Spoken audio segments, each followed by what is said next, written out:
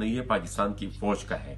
انہوں نے جب اعلان کیا کہ ہم نے وزیرستان کو کلیئر کیا ہے، تو ان کو بارودی سرنگوں کو بھی کلیئر کرنا چاہیے۔ اگر کسی نے فوج کو روکنے کے لیے، میں بالفرض محال ہیپوتھیٹکلی اگر ہم for the sake of argument اگر ہم اس کو مان لے کہ ٹھیک ہے، طالبان نے بچائیے تو کیا اس کو میں صاف کروں گا؟ یا اگر فوج ہمارے لیے اعلان کر کے بھائی آپ آئیں وزیرستان واپس تو کیا اس اس مدرسان میں مجھے وہ واپس لینا لینا چاہتے ہیں جہاں پر ہر کہیں پر طالبان نے بارودی سرنگی بچائی ہوئی ہیں؟ ان کو صاف کرنا کس کا کام ہے؟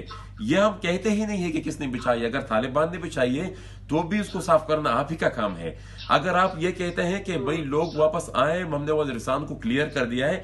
دیکھیں مارو صاحب وزیرستان کا جو مسعود بیلٹ ہے، وہ آٹھ نو سال تک آئی ڈی پی رہا۔ آٹھ، نو سال تک ان علاقوں کو کلیئر کرنے میں لگیا جب نو سال بعد بھی وہ وہاں پر آئے اور ان پر پھر بارودی سورنگوں کی دھماکے ہو رہی ہے دیکھیں میں سمپل دوسری دلیل ان کی یہ بھی غلط ہے کہ وہاں پر اس میں زیادہ فوجی مر رہے ہیں پچھلے صرف پانچ، چھ مہینے کے دوران چھہتر کے قریب بچے، اکثریت ان میں بچوں کی ہیں۔ ساؤتھ وزیرستان کی مسعود بیلٹ میں ان اس میں یا ان کی ڈیتھ ہوئی ہے، یا پھر ان، وہ معذور ہوئے، ان کا ہاتھ ضائع ہو گیا ہے، ان کا پیر ضائع ہو گیا ہے۔